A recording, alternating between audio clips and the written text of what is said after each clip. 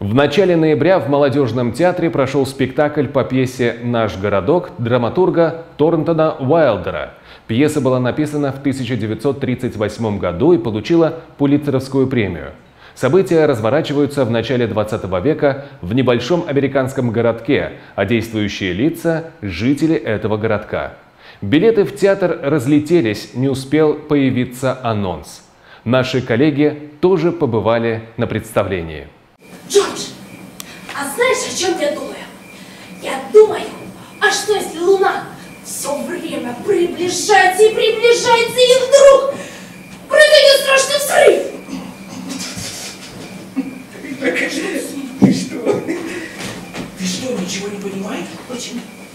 Потому что если Луна и правда приближалась, ученые, которые сидят и смотрят телескопы, они давно бы это заметили. Написали бы во всех газетах. Режиссер Обнинского молодежного театра Надежда Казанская рассказывает, что произведение Уайлдера ей попалось на глаза случайно. Пьеса напомнила о детстве, о близких людях. Предыдущей работой театра была пьеса Шекспира, фееричный, яркий, музыкальный, так характеризует его режиссер. И после такого автора хотелось вздохнуть. И вот этим вздохом явился как раз спектакль «Наш городок». Он очень непростой. А на него как бы действительно ходят люди, по-разному реагируют. Кому-то нравится, кому-то не нравится. А кто-то даже плачет на этих спектаклях, кто-то смеется, кто-то находит что-то свое. Но спектакль про нас, про всех. И, наверное, про тех, эм, какими мы были когда-то. И что мы потеряли. О человеке.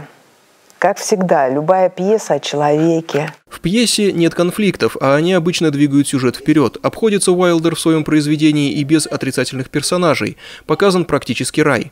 Большая часть произведения протекает в спокойной атмосфере, где даже время не особенно ощущается. Яркое событие одно – свадьба двух персонажей. Наверное, по этой причине так эмоционально насыщен финал нашего городка, играющий на контрасте с остальным произведением. Когда у меня пройдет это чувство, будто я одна из них, Сколько времени это продлится? Тише, родная. Жди и будь терпеливой. Смотрите.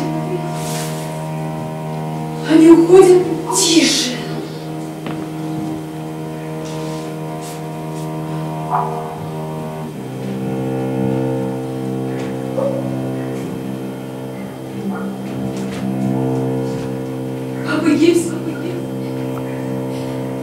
Принес вам цветы.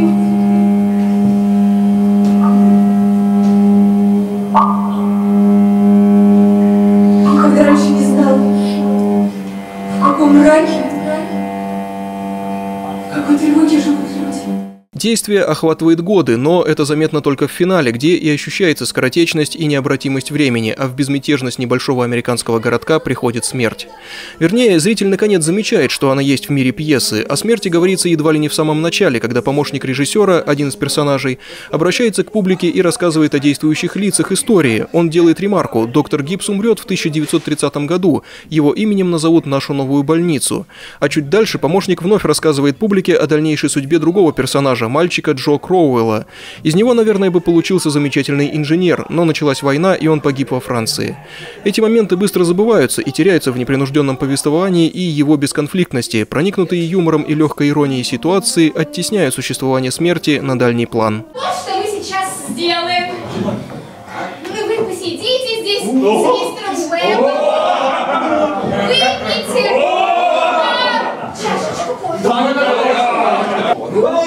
Ну, только объясните мне, какой может быть смысл в этом предрассудке? О, слушай, а, в день свадьбы голова девушки обычно занята. Платьями, но тем другим. Другим? О, может в этом все дело, а? Мне это даже и в голову не приходило. Девушка обычно нервничает, нервничает день свадьбы. Сам драматург вначале пишет, занавеса нет, декораций тоже почти нет. Вот и еще различие с постановками Шекспира, более насыщенными в этом плане. Когда ты подбираешь, ищешь пьесу, читаешь, да, ты уже знаешь, какие у тебя есть в обойме в твоей, какие есть актеры. И на этих актеров, как правило, подбирается пьеса. потому что они у тебя есть. Допустим, вот я могла взять эту пьесу, потому что у меня так сложилось, что у меня были актеры, которые смогли бы сыграть данное произведение, да? а, причем даже в нескольких составах. А, всегда зависит от того, кто с тобой сегодня работает, какие актеры. И тогда выбор пьесы, следующий шаг. Люди не понимают, что такое жизнь, пока они живы. В каждый, в каждый миг жизни. Может быть, когда-нибудь поймут. Дмитрий Глухов, Евгений Соколов, Обнинск ТВ.